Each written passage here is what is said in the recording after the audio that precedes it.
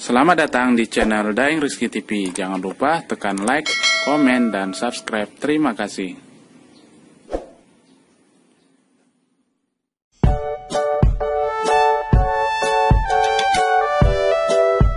Bismillahirrahmanirrahim Assalamualaikum warahmatullahi wabarakatuh Halo teman-teman, sahabat channel Daeng Rizky TV di mana pun teman-teman berada Ya di video kali ini kami akan berbagi tips mencegah tanaman terong sebelum keriting daun. Ya, jadi teman-teman di sini kami ada tanaman terong yang usianya sudah dua bulan masa tanam. Di sini perkembangan tanaman terongnya alhamdulillah cukup subur ya. Jadi jika tidak kita lakukan pencegahan, kemungkinan tanaman terong ini akan keriting daun ya teman-teman. Biasanya disebabkan oleh hama semut.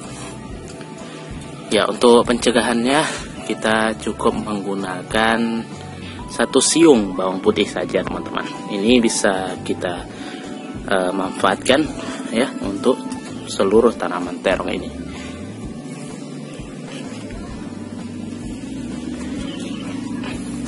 Tapi sebelum kita masuk ke proses pembuatan uh, larutan bawang putihnya jangan lupa teman-teman mari sama-sama dukung channel ini dengan cara like video ini dan subscribe channel ini.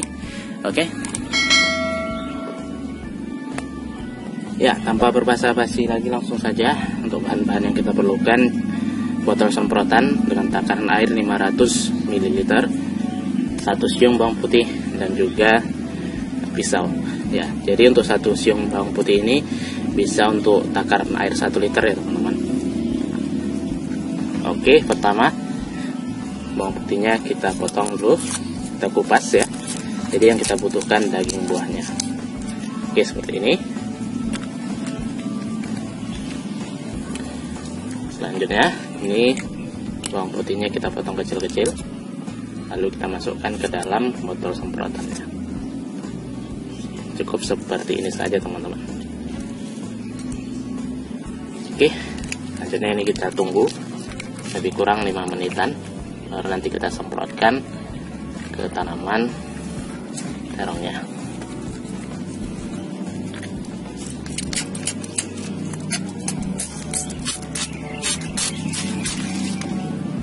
Ya jika sudah menunggu kurang lebih 5-10 menit ini sudah bisa kita semprotkan teman-teman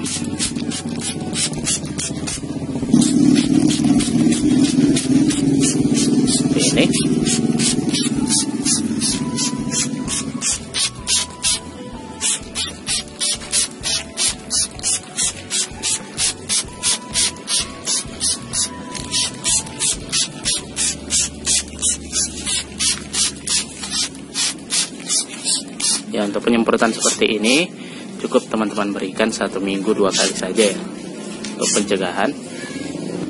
Untuk penyemprotannya bisa di pagi hari ataupun sore hari. Ya jadi seperti itu teman-teman ya. Tidak hanya tanaman terong.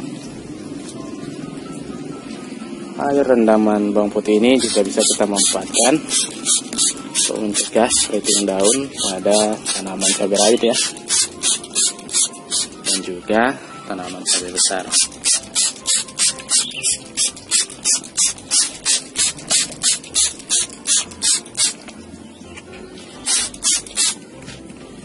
Oke teman-teman, sahabat channel dan CCTV di mana pun teman-teman berada, mungkin cukup sampai di sini dulu untuk video singkat kita kali ini. Semoga video kali ini bisa bermanfaat dan juga menambah wawasan bagi kita semua, terkhususnya bagi yang pemula.